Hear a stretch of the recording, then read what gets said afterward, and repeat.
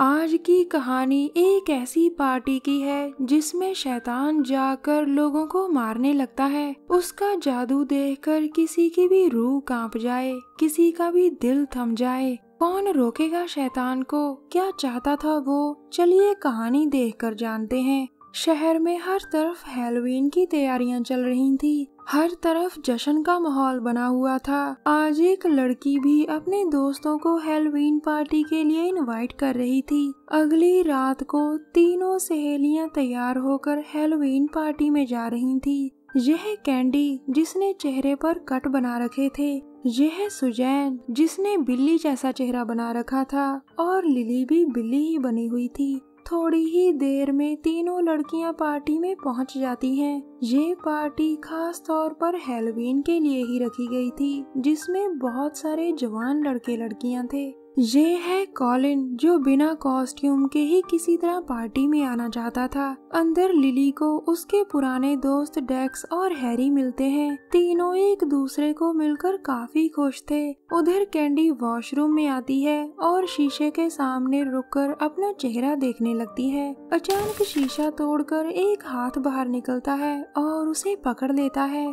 Candy किसी तरह बचकर वहाँ से भागती है। वो बाहर आकर सुजैन को पूरी बात बताती है, जिसके बाद दोनों फिर से वॉशरूम में आती हैं, लेकिन वहाँ कुछ भी नहीं था। कैंडी को लगा कि शायद उस पर दारू का नशा चढ़ गया। उधर पार्टी में आकर ईवा कहती है, मेरे दोस्तों, मेरे घर में तुम्हारा स्वागत है। मैं आपका धन्यवाद करती हूँ कि मेरे बुलाने पर आप मेरे घर में आए। मैंने दारू और बिमल पान मसाले का पूरा इंतज़ाम कर रखा है। चलो बिमल खाकर पार्टी शुरू करें। इसके बाद सभी फिर से नाचने लगते हैं। कॉलिन का ध्यान नाचने पर कम था, क्योंकि वो तो यहाँ ड्रग्स बेचने आया था। इसी बीच अचानक लाइट बंद हो जाती है, जिसके बाद पुलिस अंदर आकर कहती है, चलो बंद करो ये पार्टी। ये पार्टी बिना परमिशन के चल रही है। पुलिस को देखकर कॉलिन ड्रग्स को कहीं फेंक देता है। अब सभी लड़के लड़कियाँ बाहर निकल रहे थे। कॉलिन ने खुद को एक कमरे में बंद कर लिया था ताकि वो बाद में ड्रग्स उठा सके।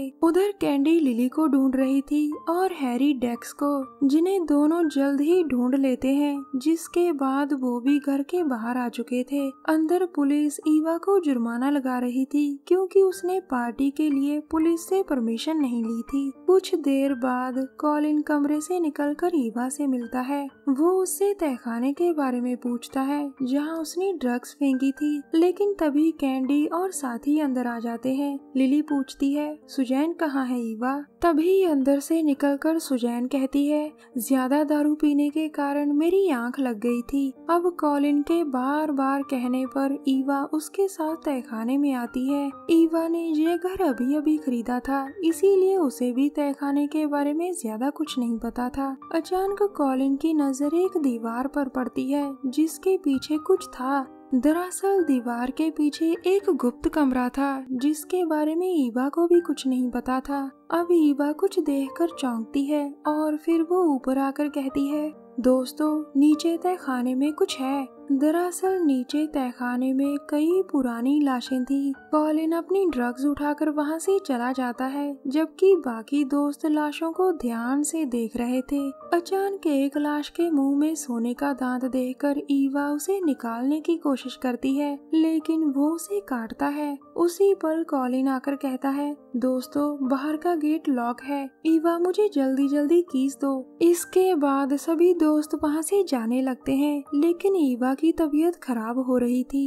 ऊपर कॉलिन ईवा से कीज लेकर गेट खोलने की कोशिश करता है, लेकिन वो नहीं खुलता। सभी को लगा कि ये सारा काम पुलिस का है, जिसके बाद वो वापस घर में चले जाते हैं। अंदर ईवा की तबीयत ठीक नहीं थी, और अब बाकी भी वहाँ आ जाते हैं। सभी अंदर आकर ईवा से बाहर जाने का दूसरा रास्ता पूछते हैं। लेकिन ईवा उन्हें इंतज़ार करने को कहती है, क्योंकि उसे उम्मीद थी कि पुलिस जल्द ही लॉक खोल देगी। कुछ देर बाद सभी दोस्त ट्रुथ और डेयर गेम खेलने लगते हैं। इसी गेम में जीतने पर ईवा डेक्स को किस करती है, जो लिली को बिल्कुल भी अच्छा नहीं लगता। फिर वो उसे लेकर एक कमरे में आती है, लेकिन डेक्स की तबीयत खराब हो रही थी। इसी दौरान बातों बातों में डेक्स लिली को भी किस करता है उधर हैरी, कॉलिन और कैंडी बाहर निकलने का रास्ता ढूंढ रहे थे। घर के अंदर ईवा और सुजैन नाच रही थी कि अचानक एक ही पल में ईवा शैतान में बदल जाती है और वो सुजैन का चेहरा उखाड़ कर फेंक देती है। अब कैंडी और साथी घर में आकर लिली को ढूंढ रहे थे। अचानक सुजैन आकर कैंडी को पकड़ लेती है, जो अब शैतान बन चुकी थी। कैंडी जल्दी जल्दी उस पर वार कर आज़ाद होती है। सुजैन फिर से खड़ी हो जाती है और इस बार हैरी उस पर वार करता है, जिसका सुजैन पर कोई असर नहीं होता, जिसे देख तीनों डर कर वहाँ से भागते हैं। तीनों भागकर तहखाने में आ गए थे और वहाँ पड़े हथियार उठा लेते हैं। अचानक कैंडी की नज़र ज़मीन पर बने डोर पर पड़ती है, जिसे कॉलिन खोलता है। तीनों को लग रहा था कि शायद ये बाहर जाने का रास्ता हो सकता है, लेकिन आगे जाकर वो रास्ता बंद हो जाता है। उसी पर कुछ जड़ें आकर तीनों को जकड़ने लगती हैं। अब शैतान भी उनकी तरफ़ बढ़ रहा था, जबकि तीनों दोस्त जल्दी जल्दी आज़ाद होने की कोशिश कर रहे थे।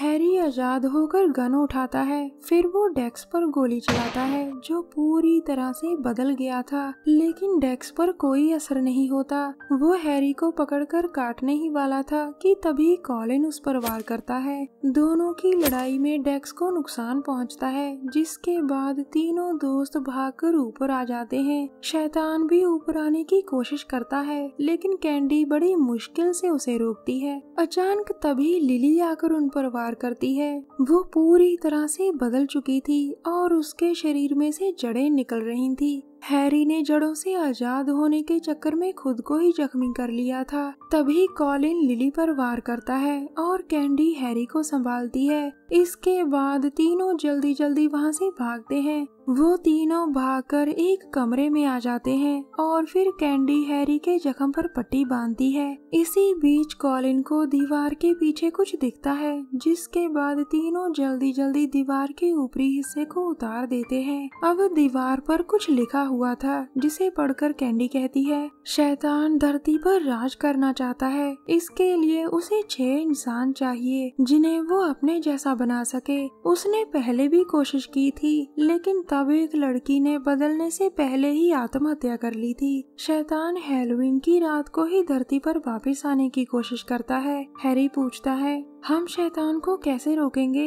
कैंडी कहती है, दीवार पर लिखा है कि शैतान पुराने लोहे से बचता है। इसके बाद सभी दोस्त इसी कमरे में रुककर आज की रात बीतने का इंतज़ार करने लगते हैं। अचानक ईवा कमरे के दरवाजे पर आकर कहती है हम इस कमरे में नहीं आ सकते, क्योंकि इसकी दीवारों पर पवित्र शब्द लिखे हैं। लेकिन हम तुम लोगों को कमरा छोड़ने पर मजबूर कर देंगे। ये सुनकर कैंडी दरवाज़ा बंद कर देती है। कुछ देर बाद अचानक दीवार में से बहुत खून निकलने लगता है। फिर दीवारों में से हाथ भी निकल आते हैं, जिन्हें देखकर सभी डर गए थे।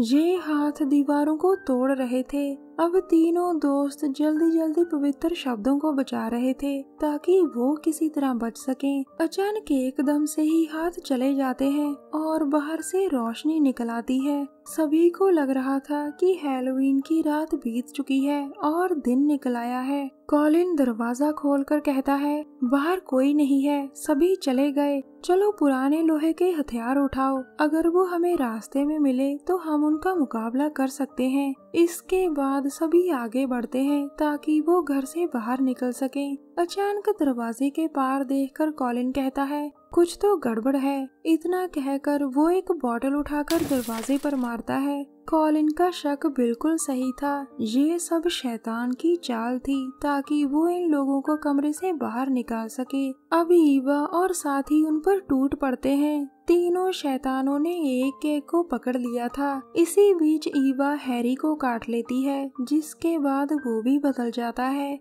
हैरी की हालत देखकर बाकी दोस्त भागकर उसी कमरे में आते हैं, जहाँ पर पवित्र शब्द थे। अचानक कॉलिन के नीचे का फ्लोर टूट जाता है जिसके बाद वो नीचे तहखाने में गिरता है। कैंडी जल्दी जल्दी पास पड़ी एक रस्सी उठाकर नीचे आती है, ताकि वो कॉलिन की मदद कर सके। कॉलिन की हालत काफ़ी खराब थी और कैंडी आसपास मेडिकेट देखने लगती है। उसे जल्द ही एक किट मिल भी जाती है, लेकिन उसके औज़ार पुराने पड़ चुके थे। तभी अचानक कॉलिन भी बदल जाता है और कैंडी उस पर वार कर उसे बेहोश कर देती है। कॉलिन के जख्मों से खून निकलकर मिट्टी पर गिर चुका था। ये मिट्टी शरापित थी, क्योंकि शैतान को इसी में दफनाया गया था। शरापित मिट्टी के कारण कॉलिन बदल गया था।